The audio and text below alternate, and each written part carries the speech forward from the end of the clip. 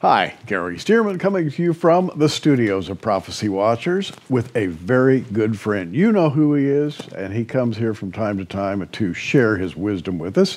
It's Avi Lipkin. Avi, welcome to, to uh. Prophecy Watchers. Love you guys.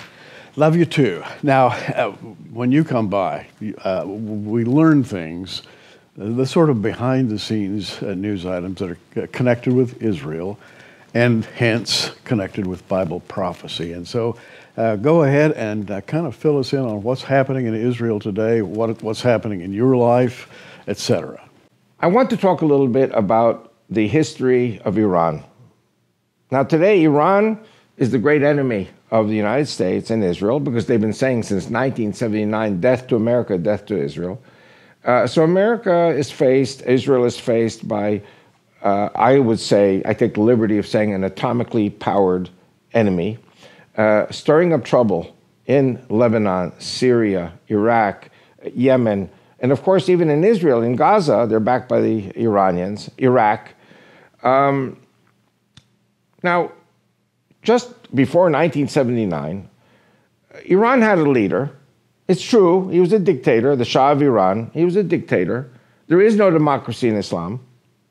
There is none of this Republican and Democrat, you know, chit chat about who's right and who's wrong. There, you, when you are the leader of an Islamic country, you are a dictator because if you're not a dictator, you will fall from power probably and be killed. Mm-hmm.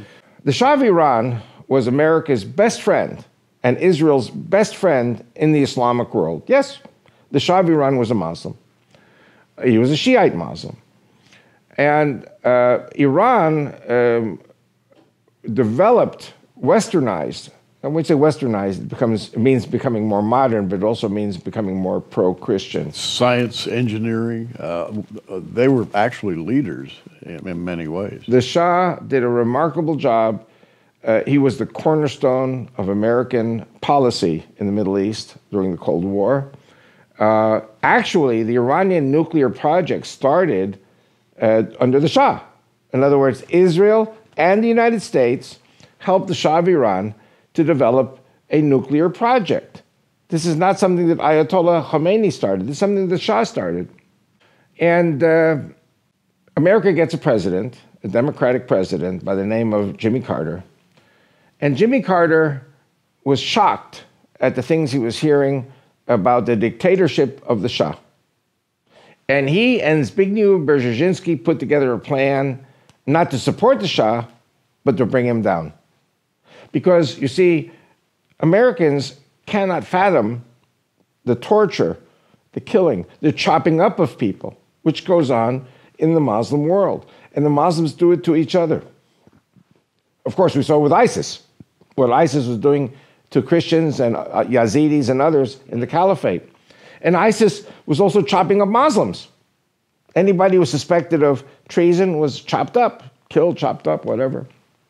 So the first thing that happens when Zbigniew Brzezinski and Jimmy Carter depose the Shah, or shall I say they, don't, they do not back him to stay in power, is look what we got as a result. We got Ayatollah Khomeini, the fanatic Shiite regime, which suppressed all of the groups in Iran the labor groups, the socialist groups, the democratic groups, the women's groups, suppressed all of them and imposed a fanatic Muslim regime, Shiite Muslim regime, on the people of Iran. And what I wanted to say to President Trump is we have to look at what is the outcome of an American decision regarding what happens with Khashoggi. And I talk about it indeed in my book, Islamic Rivalry. I talk about all the different forces at play where the Russians back the Iranians and the Shiites, and the Americans and the Europeans back the Sunnis. By the way, when did you write this book? I just wrote this three years ago. Three years ago. It's called Islamic Rivalry ISIS and Iran fighting each other for the heart of, of Islam. And chopping each other up in pieces. And, and chopping each other up in pieces. This is very important to America in what way? Well, you see, Americans are, I would say, one dimensional. Uh, Jesus Christ has made Americans such loving, sweet people. You know, there's a saying, it takes a thief to know a thief. You guys are not thieves. You're not able to be thieves because you're one dimensional. You have this lovey dovey uh, Bible way of thinking, and I would say so do I. it's just I live in the Middle East, And my wife comes from the Middle East, and so I've become a thief. I've been inoculated uh, by my wife and by living in Israel 50 years, and I see that they go by different rules. Americans cannot fathom it, they can't comprehend how a human being can go ahead and chop another human being to pieces and then drop the body parts in acid. Uh, this is a horrible thing that took place in the, um, uh, in the uh, Saudi uh, consulate in Istanbul. Horrible thing. But this is the norm in the Islamic world. Now, having laid that out as a basic premise, um, if you could talk to our president, if you could talk to the leaders of our country, what would you tell them? What do they vitally need to know today uh, on the basis of what you're, you're talking about? America has an ally, Israel has an ally called Egypt. Egypt used to be our worst enemy. Egypt today is an ally. I don't know for how long, but the president of Egypt is a general, was a general in the Egyptian army. His name is Assisi. And Assisi led the army in a coup d'etat to overthrow, overthrow the Muslim Brotherhood. Who's Khashoggi, the one who was chopped up and killed? He was Muslim Brotherhood.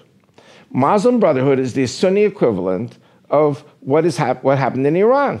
Hmm. So the question is this if and we spoke about this many years, yes. you know, about the oil and the steady oil prices and steady oil supplies. The, the royal family in Saudi Arabia is hated by 90% of the Saudis. They, they actually back Khashoggi. This is the beginning of a civil war, I believe, in Saudi Arabia, because the Muslim Brotherhood is waiting for the opportunity to annihilate the royal family. And today, you can get your oil from Saudi Arabia, or the world can get the oil Tomorrow it's not going to happen. Tomorrow, if the Muslim Brotherhood takes over, they're going to blow up the oil wells. Hmm. Uh, you know, Iran doesn't want to sell oil to the countries that are with America because Iran wants to destroy America. Now, Assisi, after one year of President Morsi, the Muslim Brotherhood president, uh, leads a coup d'etat, imprisons Morsi, who is guilty of many crimes, and the Muslim Brotherhood is put in jail. Muslim Brotherhood is made illegal in Egypt. Abdel Nasser did it in the uh, 50s and 60s. Um, you remember Sadat, who made peace with Israel. He yes. tried to cut a bargain with the Muslim Brotherhood. They killed him. You cannot do business with the Muslim Brotherhood. They are a threat to Egypt. And so the United States has to think about what is best for America's interests. Is it better to have the King of Saudi Arabia and the royal family, which I think inevitably are also doomed? Or is it better to have the Muslim Brotherhood, who will do to Saudi Arabia what the Muslim, the, the Shiites did in Iran and what they tried to do in Egypt with Morsi, um, America's best interest will be served by keeping the royal family in power. And I would say, you know, uh, President uh, Trump is right in condemning this horrible behavior. But you have to understand something. This is normal behavior in the Muslim world. And, you know, uh, President George W. Bush, I have a lot of respect for George W. Bush, but he said something very wrong. He said that the war in Iraq in 2003 was about bringing democracy, overthrowing Saddam Hussein, bringing democracy to Iraq. You know what the Saudis said? Democracy in the Middle East over our dead bodies. Wow. In other words, there is no such thing as democracy in Islam. And so if you have al Sisi, who is a, a dictator, if you have uh, all these leaders, the, the, king of Saudi Arabia or his son, Mohammed bin Salman, is a dictator. I don't know if he gave the orders to, to kill Khashoggi, but the point is, this is an internal matter of the Islamic world which America cannot get involved in. This is something, with all the pain I say it, because I know a lot of very good uh, Republicans and Democrats are saying there should be an investigation and there should be punishment. What comes after the Saudi family? The Muslim Brotherhood. Muslim Brotherhood will be anti American, anti Christian, anti Jewish, anti Western. And if you're talking about stable oil prices and steady oil supplies, leave things alone. That's my message to President Trump. And very clearly stated, I might add. You came right down to, to the point. Uh, who are our most dependable allies in that region? And obviously, it would be uh, the, the, the people who've been in power now for how long? Uh, since it, since T.E. Lawrence. yes. So we really find ourselves now at a junction, a little a little break point in history. Yes, I, I would say again, uh, there are a lot of plans uh, regarding Saudi Arabia. You know, I, we spoke about it before a rail, ra- railroad that would go uh, through Jordan uh, with a link to Israel. Yes. So that uh, products could be shipped through Haifa uh, to Jordan and then down to Saudi Arabia and vice versa. Um, uh, the debate is will the Japanese build the railway or will the Chinese build the railway?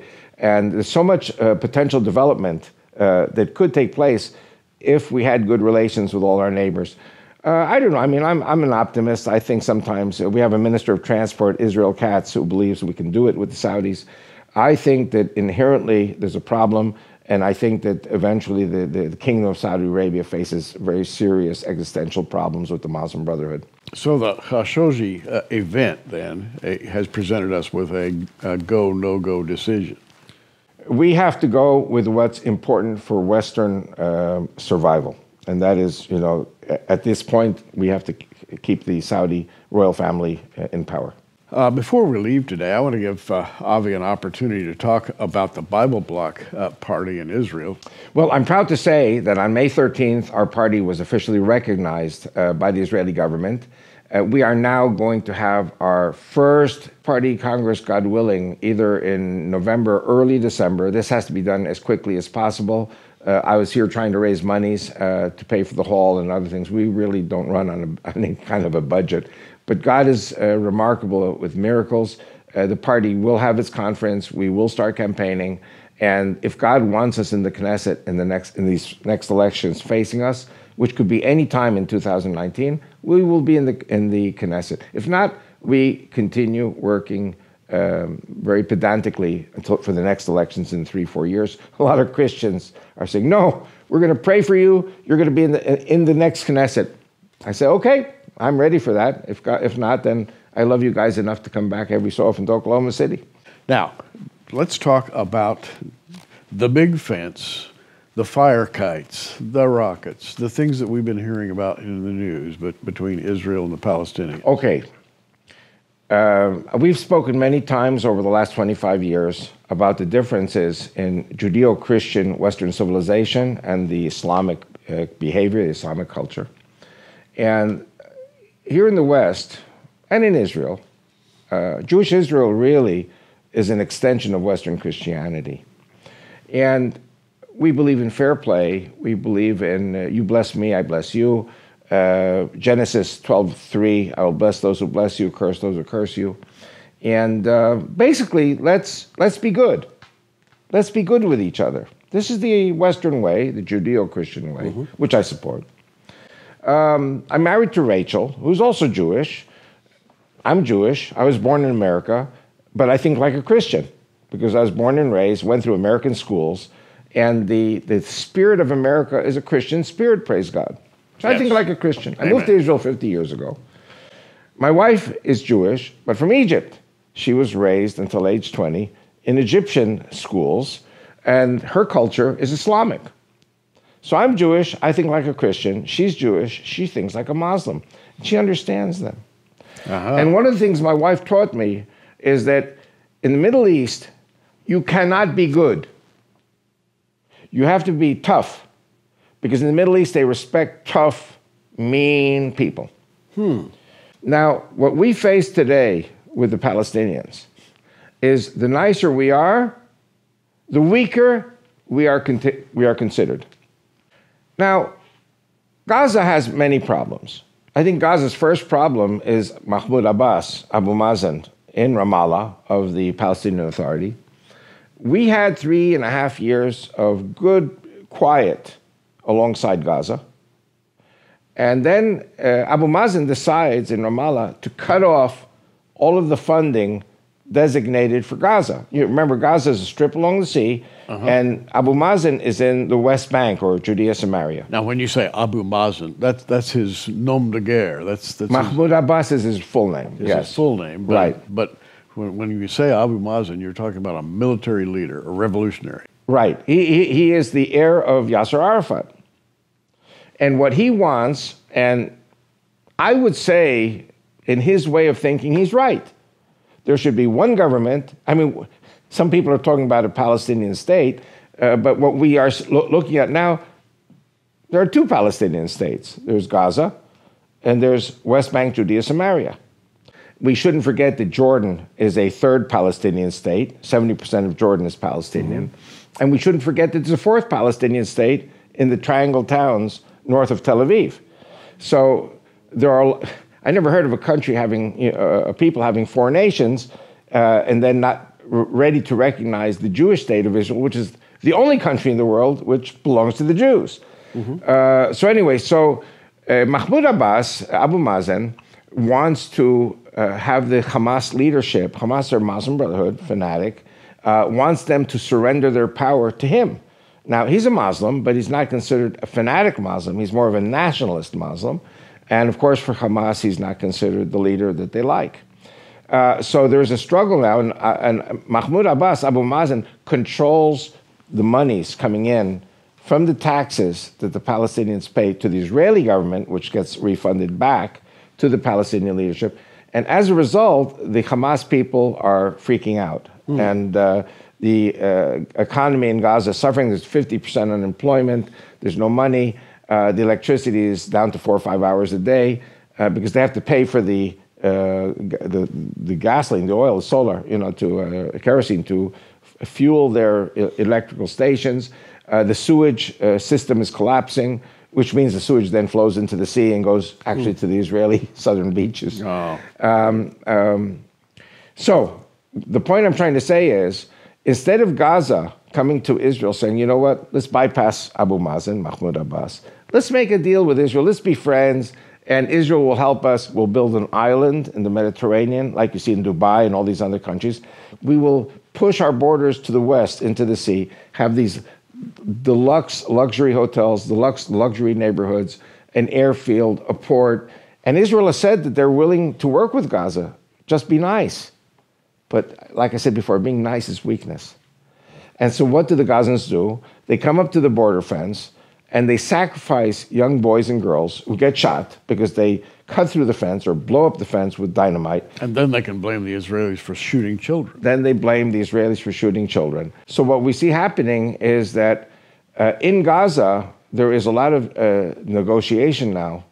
With the Egyptian government, the Egyptians under Al Sisi are trying their best to bring uh, Hamas to the table with Israel in order to find economic solutions for the people of Gaza. I mean, it's in the Egyptian interest also that there should be stability in Gaza.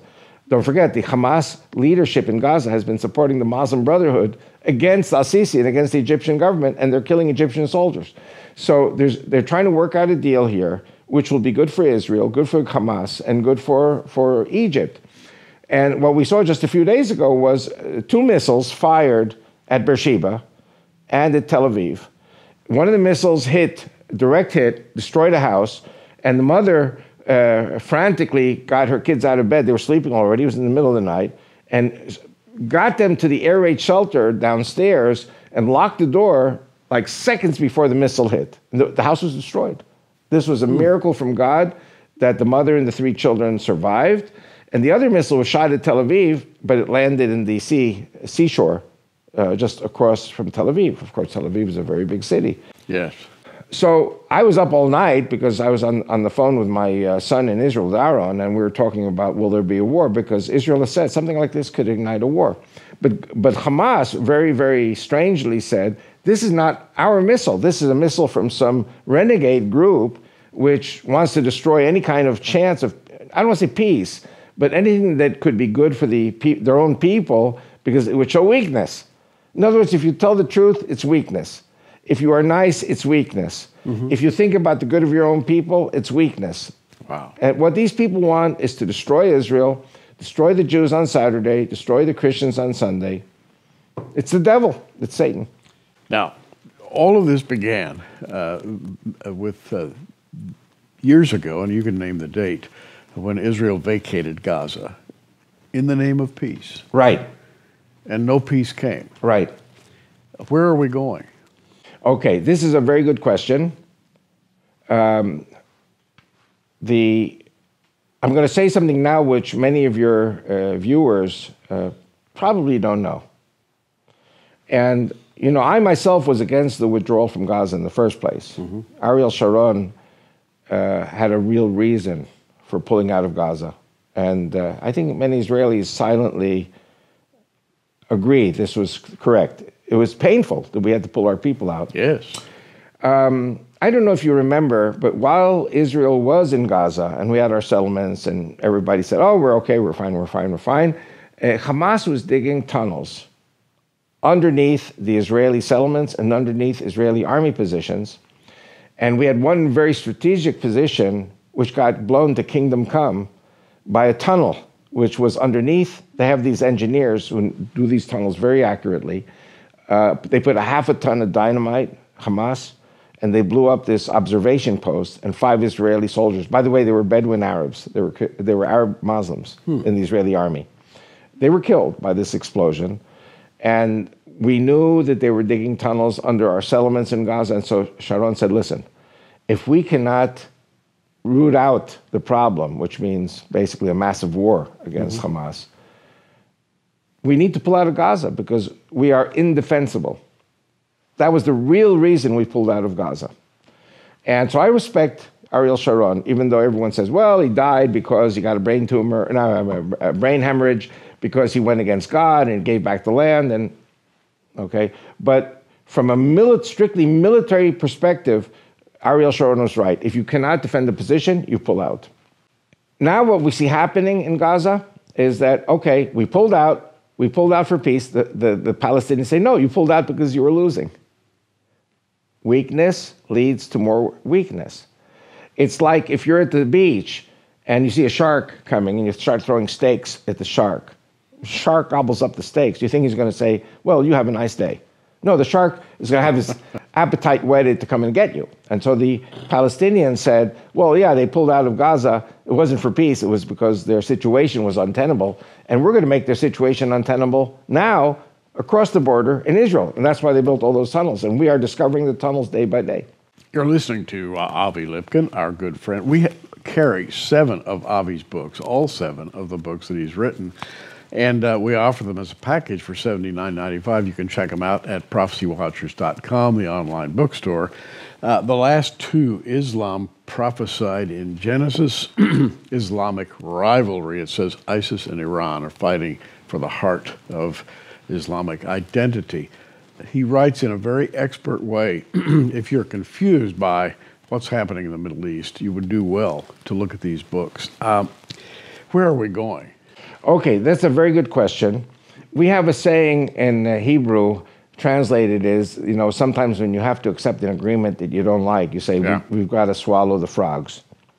And, um, and so my son said to me this morning, we have to swallow the frogs. We cannot bomb the heck out of them because they sent two missiles.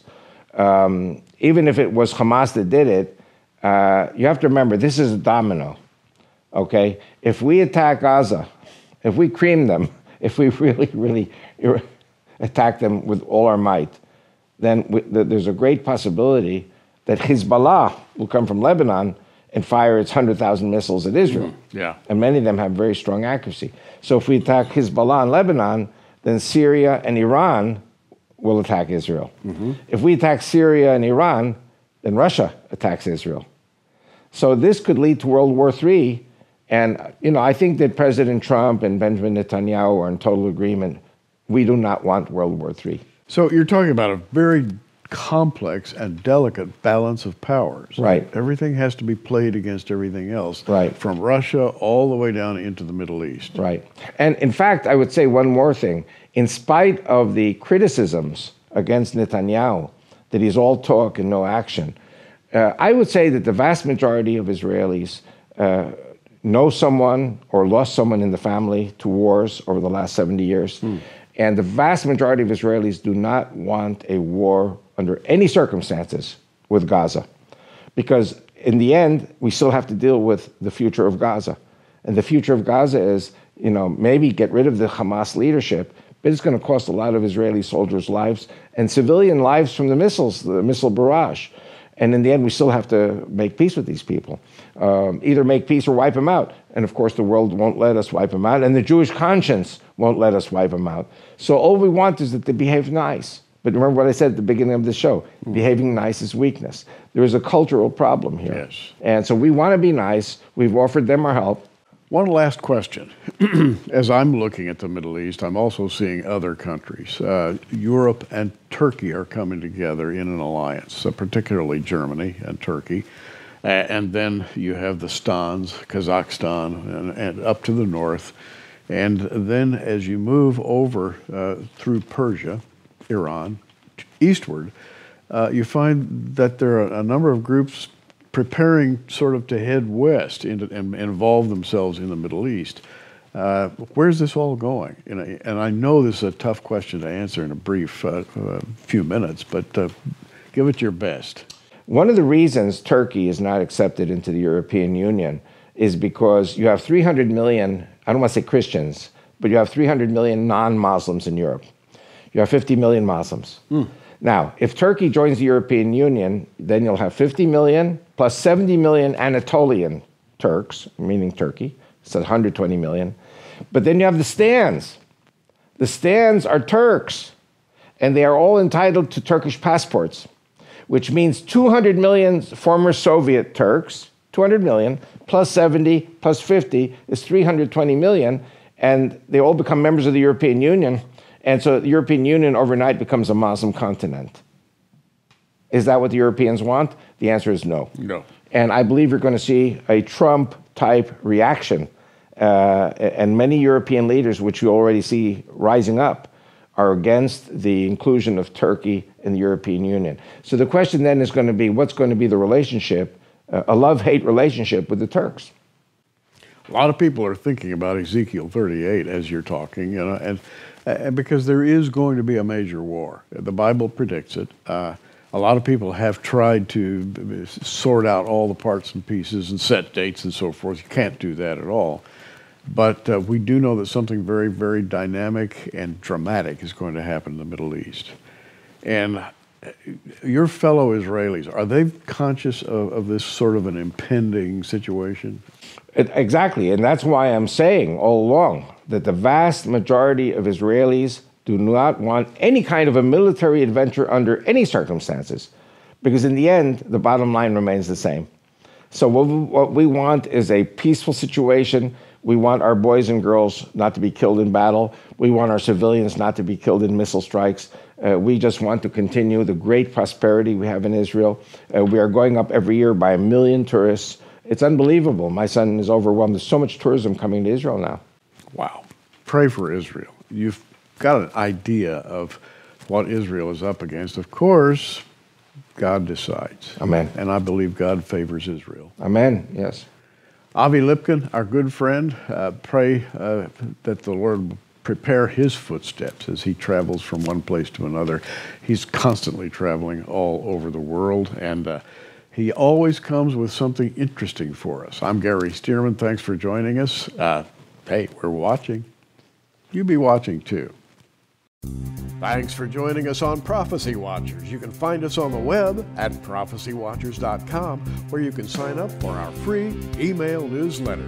In the meantime, keep watching, everybody, and we'll see you soon.